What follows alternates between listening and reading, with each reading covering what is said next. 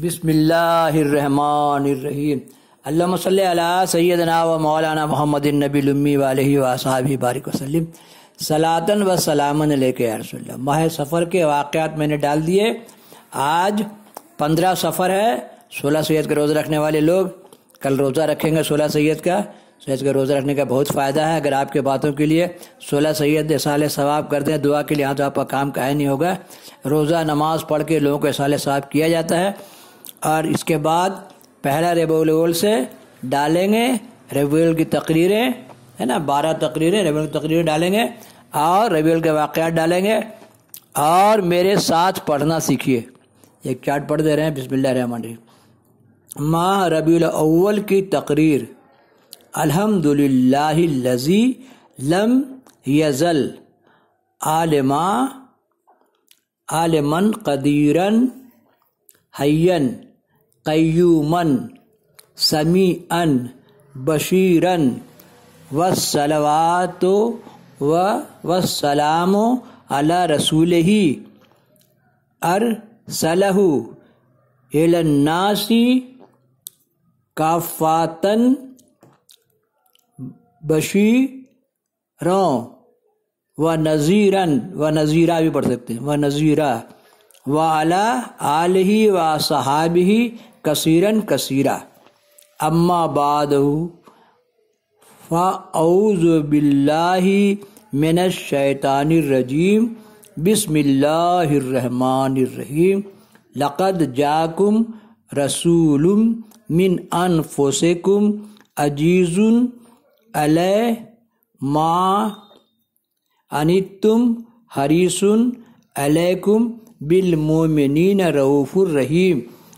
मेरे साथ पढ़ना सीखिए।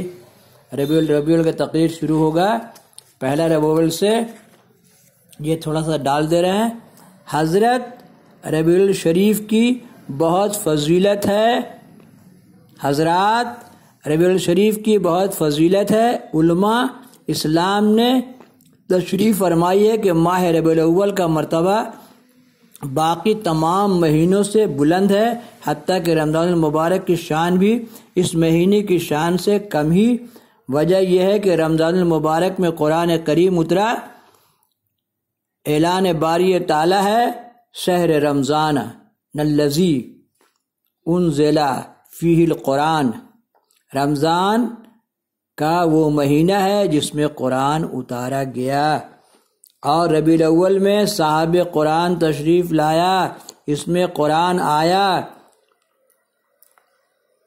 तो इसमें कुरान वाला तशरीफ़ लाया। हमारी हकीकी ईद तो इसी माह में है, क्योंकि इसमें अल्लाह ताला ने अपना पूरा महबूब सल्लल्लाहु अलैहि वसल्लम हमें अता फरमाया।